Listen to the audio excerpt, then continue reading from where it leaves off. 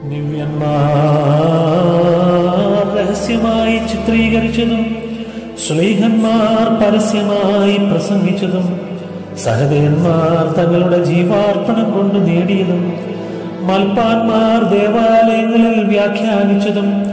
പുരോഹിതന്മാർ വിശുദ്ധ ബലിപീഠത്തിൽ അർപ്പിച്ചതും ലേവായർ തങ്ങളുടെ കരങ്ങളിൽ വഹിച്ചതും ജനങ്ങൾ തങ്ങളുടെ പാപപരിഹാരത്തിനായി സ്വീകരിച്ചതും മനുഷ്യാവതാരം ചെയ്ത ആദിജാതന്റെ സ്വീകാര്യവും സജീവവും രക്തരഹിതവുമായ കുർബാന സകല സൃഷ്ടികൾക്കും വേണ്ടി സകലത്തിന്റെയും നാഥനായ ദൈവത്തിന് സമർപ്പിക്കുന്നു.